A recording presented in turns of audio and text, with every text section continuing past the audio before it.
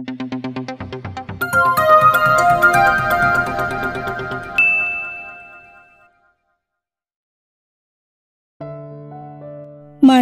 POV. Excuse me? Unti-unting umandar ang pagkamaldita ko nang makita kong panunuyan itong misis sa akin. Iyo, inakit mo lang si Rocco. Malakas na pagkakasabi nito sa akin. Hindi ko na sana papatulan, kaso hindi ko hayaang bastusin at insultuhin ako ng babaeng to. You thick face, have the guts to tell me that I seduced him? You don't know me. I may be poor but I am a decent woman. Ikaw ang bitch! May di ng bawat katagang sinabi ko. Naramdaman kong humigpit ang hawak sa akin ni Rocco. Mapanuya itong humisi sa akin at pinasadahan ako ng tingin mula ulo hanggang paa. Akala mo kung sinong maganda eh halos humiwalay nang ang kaluluwa niya sa suot nitong napakaiksi. Oh really? You lich whore? Ako sa nito sa akin na tumingin pa talaga sa palibot. Ani mo'y pinapangalandakan na pinagsasabi nito. Tuluyan ang musbong ang galit ko't hindi ko na napigilan ang sarili. Umigkas ang kanang kami ko't isang malutong na sampal ang dumapo sa pisngi ni Lisa. Pumaling ang ulo niya sa lakas ng pagkakasampal ko. Halatang nagulat ito't base sa nakita kong reaksyon niya pero hindi ito nagpatinag. Pati si Rocky nagulat din. How dare you to slap me? Nanggagalaiti itong tumingin sa akin. That's for insulting me, you deserve that. I spotted to her face. Ako malalapitan ako ni Lisa pero mabilis nang marang si Rocco. He caged me in his arms. Kita mo Rocco? Yung ba klase ng babaeng pinagpalit mo sa akin? She's violent! At nagpapaawa po mukha nitong tumingin kay Rocco. Akala mo kung sino aping-api? Enough! Tumas na rin ang boses ni Rocco. Naramdaman ko pagpipigyan nitong magalit at mabulyawan si Lisa. I saw he clenched his jaw. Baby! But he cut her off. I warn you Lisa, if you don't want to be dragged out here, he said. Nakita ko nagmamakaawang mukha ni Lisa na tumingin dito.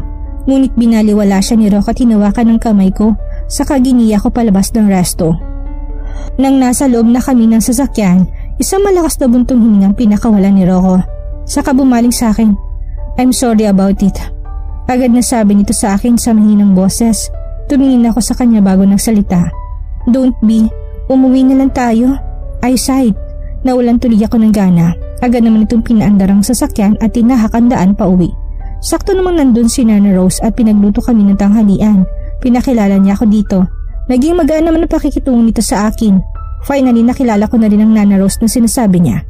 Biglang bumalik ang siglakot sa gana sa pagkain. Nagkwentuhan kami habang kumakain. Ayon pa dito, siya na daw ang nag-alaga kay Rocco nung malit pa to hanggang sa naging binatilyo. Kaya alam na alam na kung anong mga gusto at ayaw ni Rocco. Nalaman ko na rin na minudo ang paborito ni Rocco na ulam na siya namang ngayon niluto ni Nana Rose. Matagal na daw itong naninilibihan sa mga magulang ni Rocco.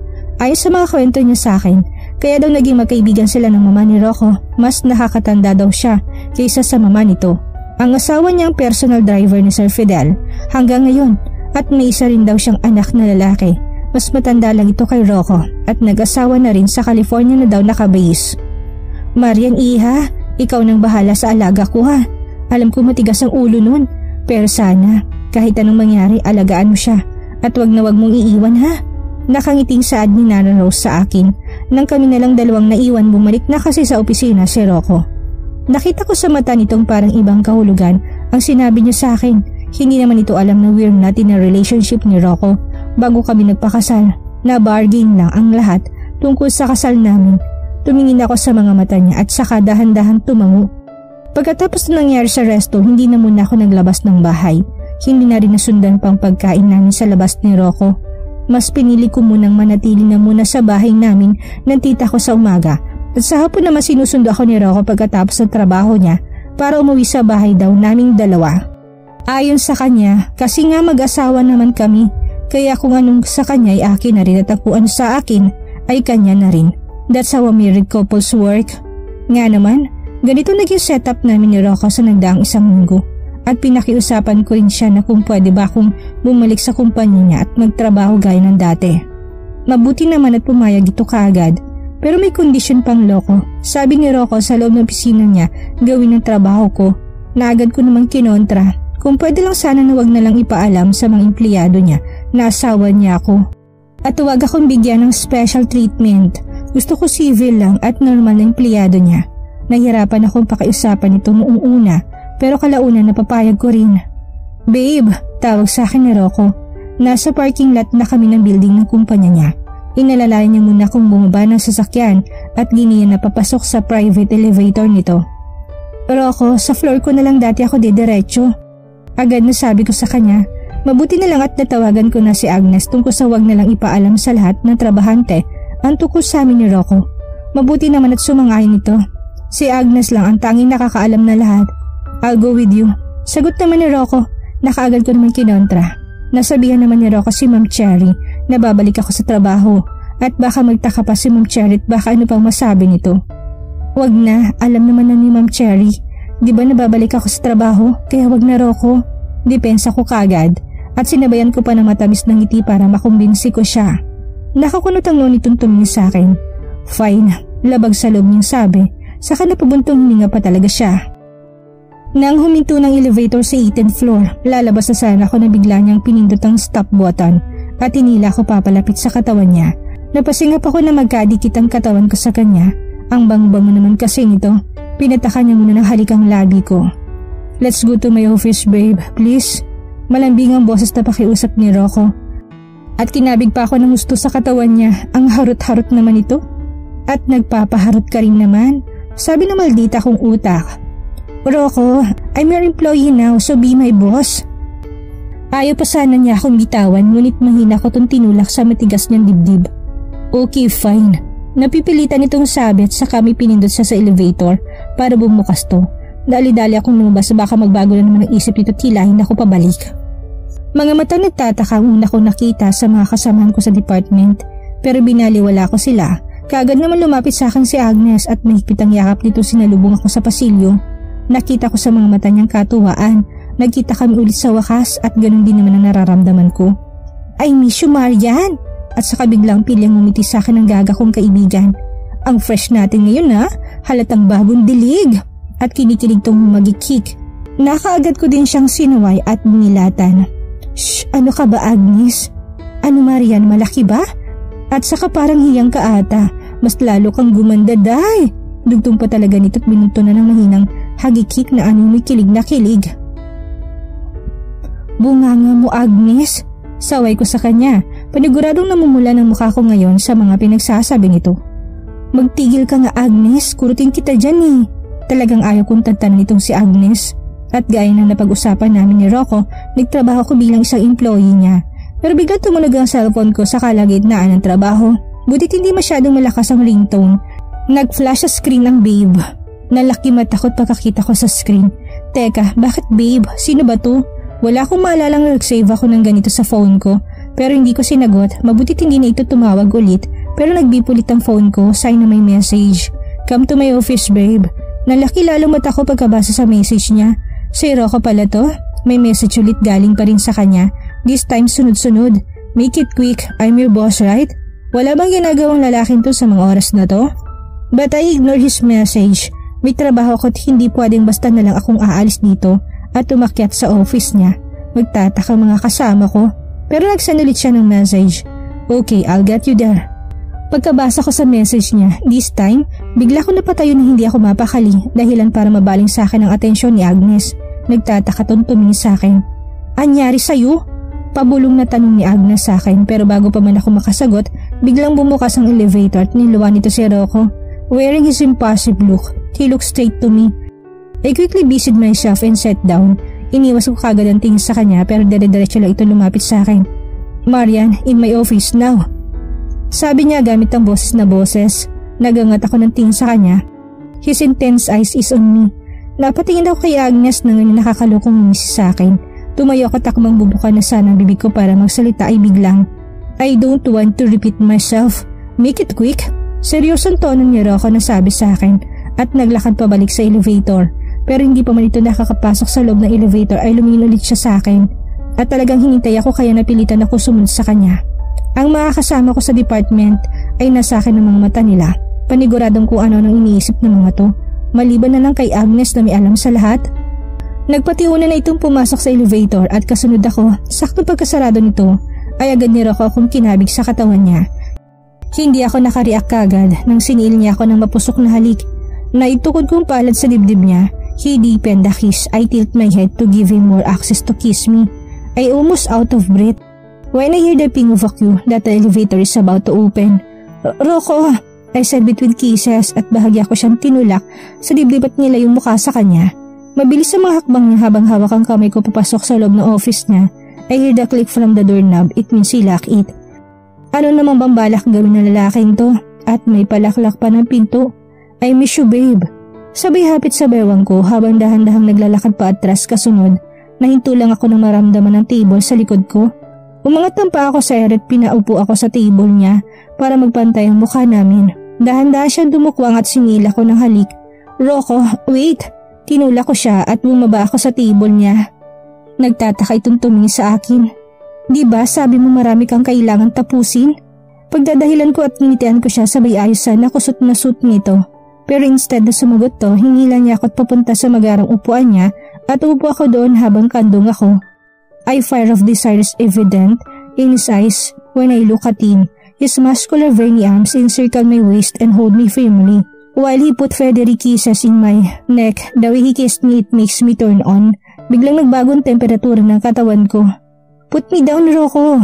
Hindi ko tuloy alam kung nakikiusap ba akong ibaba niya ako. Baka kasi nagsisinungaling lang ako na ibaba niya sa tono ko. Lalo lang ako nang hina ng dahan-dahang niyang hinaplos ang legs ko. Ang isang kamay naman niya nakaalalay sa bewang ko. I really miss you babe, he said in a raspy cold voice. His piercing gray eyes intensely look at me. I feel the butterflies in my stomach again. Rocco, but he cut me off and says, Please babe, just a quickie. At nagpapaawa pa talagang mga mata nitong tumingin sa akin. Alam ko tong quickie niya eh. Aabot lang naman ng isang oras. Kaya scam din tong lokong to. Quickie as in quickie ha? Panigurado ko pa sa kanya at para naman tong batang tumango habang nakangiti, he then kissed me passionately. Which I responded with the same intensity and passionately. At na kami nilamon ng init ng aming mga katawan at inangkin ako ni Rocco. Sa nakalipas na isang linggo, naging maayos naman ang trabaho ko bilang normal na empleyado ni Rocco. But even I address myself as his employee, he still make his way with me. He told me that he's tired of hiding about us. Why not tell everyone that I'm his wife for God's sake? At napansin ko masyadong distance sa akin ng mga kasamaan kong empleyadong lalaki, lalo si Alwin. Kung dati mahilig to magbiro habang sabay kami nag-break, ngayon, pangiti-ngiti na lang. Nagtataka tuloy ako, ayaw ko namang isipin may kinalaman si Rocco dito. At sa lumipas ng mga araw maging maayos at masasabi kong dahan-dahan ko na rin nakikilala si Rocco. We do things like a married couples do. Nauna na ako umuwi kasi may mga kailangan pa daw tapusin si Rocco sa office niya. Naisipan ko ipagluto na lang siya ng paborito niyang ulam. Hindi ko masyadong kabisadong ulam na lulutuin pero dahil tinuruan naman ako ni Nana Rose kung paano tulutuin kaya carry lang. Hmm, hi babe, what did you cook? It smells good. Sad ni Rocco sa akin habang yakap ako sa likod at ang ulo niya nasa pagitan ng leg at balikat ko. Hindi ko malang napansing nakauwi na pala siya. Your favorite? Halos hindi ko na marinig ang sarili kong boses dahil sa ginagawa nito. Nagwawalang puso ko sa loob ng aking dibdib. We never talk about what we have right now.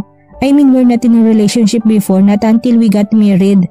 Other than that, there's no real talk between us. He's acting like I'm his.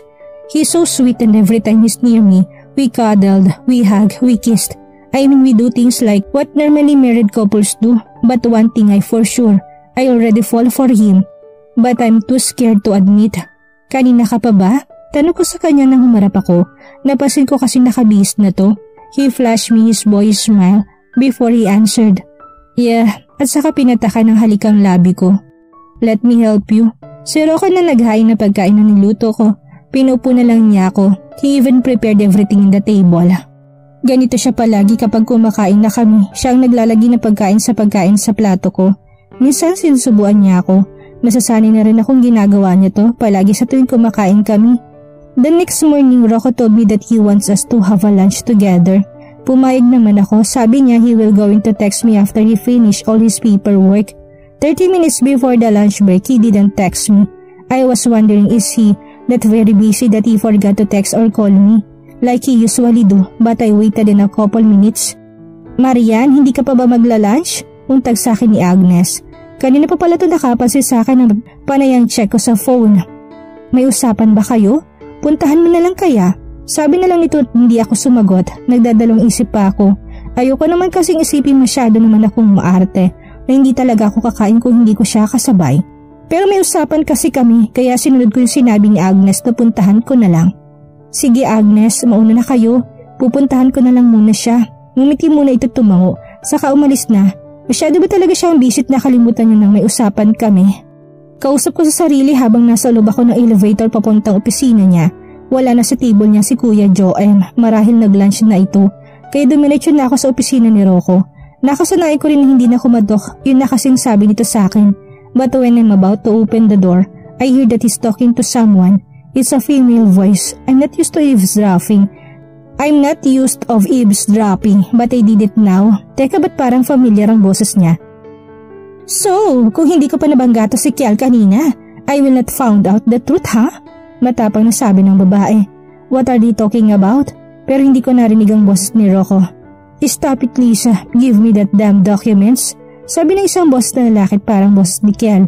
Ano naman kayong ginagawa ng Lisa ngayon dito?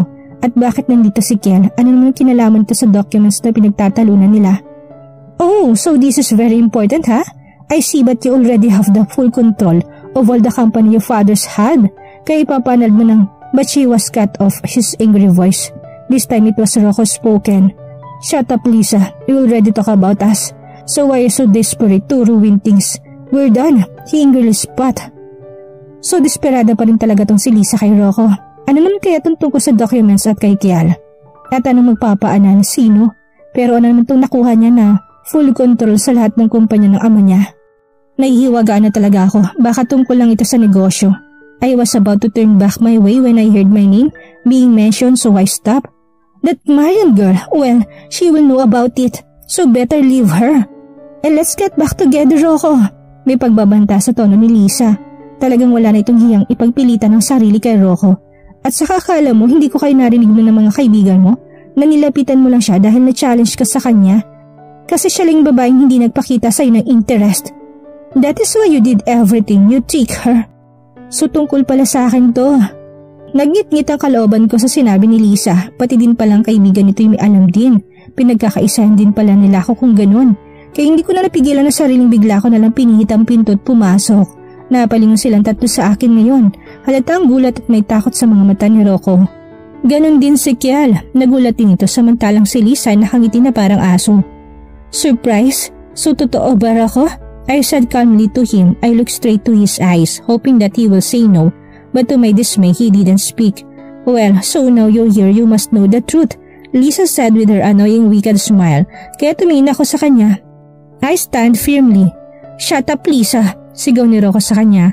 Pero ayaw tumigil ni Lisa. Akala mo gusto ka talaga ni Rocco? Ginamit ka lang ni Rocco. At gumisito na nakakaloko sa akin. Sinasabi ko sa'yo, he just get challenged with you That is why he tricked you for you to fall from his trap to make you marry him. Nakataas ang isang kilay nitong tuming sa akin, sabay abot ng folder sa akin at maras kong kinuha ito sa kanya. You want a proof? Here, I look at her with impassive look. I don't want to give her the satisfaction to see me that I am the loser this time. Pinasadahan ko ng tingin na laman ng folder. Una nakita ko yung pangalan ko at ang bangko na nagbigay ng notice kay tita noon. Pati na rin ang pangalan ni Mr. Chang na dinoble ni Rock ang bayad nito. Pero ang kina, usbong ng galit ko yung listahan ng mga ospital. Nakasa dito na we're forbidden to have dialysis for my tita Belinda. Hindi, totoo ba ito? Nakaya ba talaga ni Rocco na gawin sa amin to? Kaya pala lahat ng mga ospital na pinuntahan namin pare-pareho lang sagot at dahilan nila? I still managed to stand firmly and look Rocco in the eye. May takot sa mga mata nitong akman lalapitan ako. So ikaw pala nag-utos at may gawa ng lahat ng paghihirap namin ng tita ko? Inipit mo kami? Asama mo. I said halata ng galit sa boses ko. Babe, it's not what you think. Ako mang hawakan ni Rocco kamay ko pero winaksi ko to at umatras. Nakita kong hinila na ni Kiel si Lisa palabas na opisina. Nagpumiglas pa to. At dito na po nagtatapos ang kabanata ng ating kwento at sana'y muli niyo po akong samahan sa mga susunod pang kabanata. Maraming salamat po at ingat po tayong lahat.